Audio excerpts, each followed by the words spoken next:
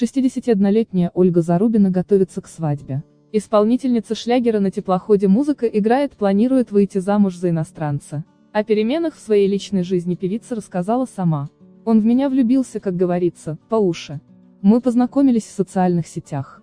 Когда начали общаться, у него просто крышу снесло. Он почти мой ровесник, достаточно обеспеченный.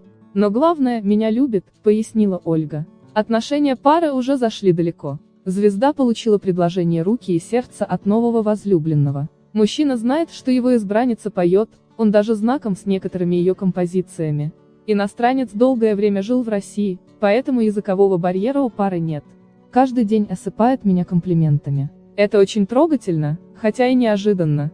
Я ни о какой любви не мечтала, для меня он как снег на голову среди лета, призналась артистка в интервью собеседнику.